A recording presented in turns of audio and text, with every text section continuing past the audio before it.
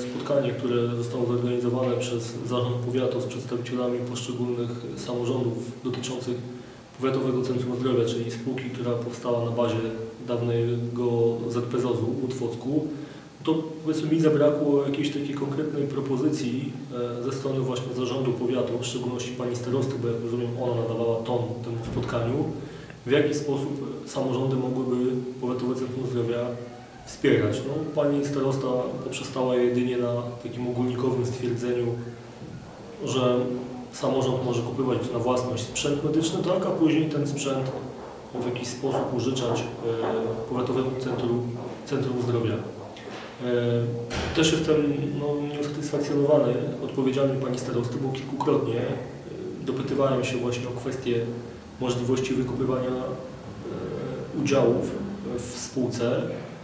Do tego upoważnił mnie e, mój e, przełożony, czyli pan wójt gminy Celestynów, bo w jego imieniu zabierałem tam głos. Gmina Celestynów jest zainteresowana pomocą dla Powiatowego Centrum Zdrowia, e, tylko nie na takich zasadach, jak wskazywała pani starosta, tylko bylibyśmy zainteresowani zakupem udziałów w spółce, bo tak naprawdę tylko wtedy możemy wprost i bez żadnych tutaj jakichś prawnych interpretacji i szczególnie skomplikowanych konstrukcji prawnych no, wspomagać Powiatowe Centrum Zdrowia. Po drugie dawałoby to możliwość także brania udziału w kontroli pewnych zdarzeń, procesów, które w spółce zachodzą, między innymi na podstawie artykułu 212 Kodeksu Spółek Handlowych, który przyznaje każdemu wspólnikowi prawo indywidualnej kontroli. Niestety moje apele, propozycje i wnioski nie spotkały się z, w mojej ocenie z życzliwym e, przyjęciem ze strony Pani Starosty i z żadną konkretną odpowiedzią. Jest to dla mnie niezrozumiałe, bo w, w rozmowach z członkami zarządu słyszałem, że zarząd powiatu jak najbardziej jest zainteresowany tym, by samorządy, samorządy z terenu powiatu otwockiego angażowały się w taki właśnie sposób w pomoc Powiatowemu Centrum e, Zdrowia.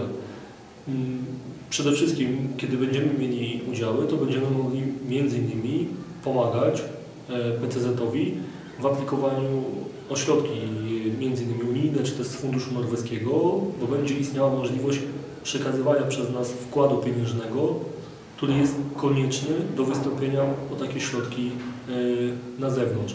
Czy ma Pani zamiar zaproponować samorządom tym, które są zainteresowane, a gmina Celestynów przede wszystkim organ wykonawczy jest zainteresowany objęciem udziału w, spółce, czy w ogóle przewiduje Pani taką procedurę zaproszenia dla poszczególnych e, samorządów do obejmowania udziału, czy też powiat jest tym niezainteresowany i tylko oczekujecie, żeby gminy zakupywały sprzęt i dzierżawiały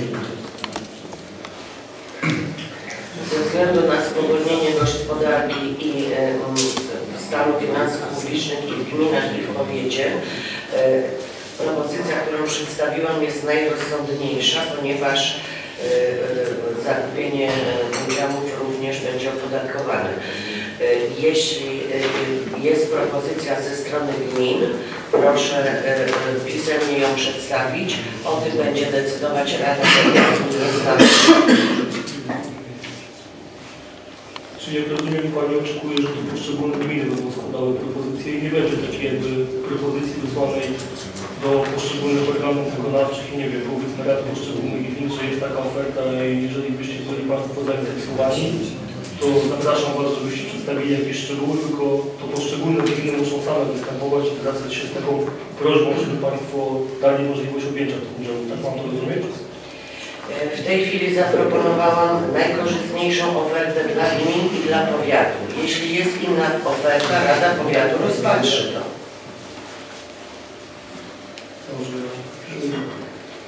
chcę się pytać o techniczną stronę tej, tego, tej procedury, czy po prostu to my jako gmina Wpływa na przykład złożyć taką prośbę wniosek, czy też jest szansa, że po tym spotkaniu będzie jakaś taka ogólna propozycja dla poszczególnych gmin.